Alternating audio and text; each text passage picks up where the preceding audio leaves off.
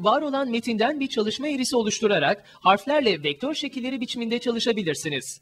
Bir çalışma eğrisi Pets paleti içinde geçici olarak yer alır ve bir şeklin çerçevesini tanımlar. Bir yazı katmanından çalışma eğrisi oluşturduktan sonra bu çalışma eğrisini diğer eğriler gibi kullanabilir ve kaydedebilirsiniz. Şimdi bir metinden çalışma eğrisi oluşturmak için Layer menüsünden Type ve Create Workpath seçeneklerini tıklayın.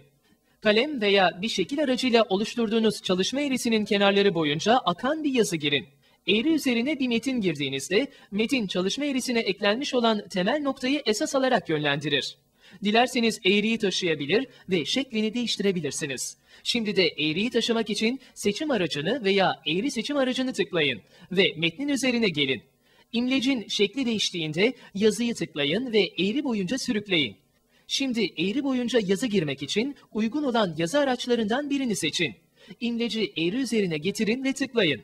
İmlecin şekli değişecek ve eğri üzerinde yazıyı ekleme noktası görüntülenecektir. Artık metne girebilirsiniz.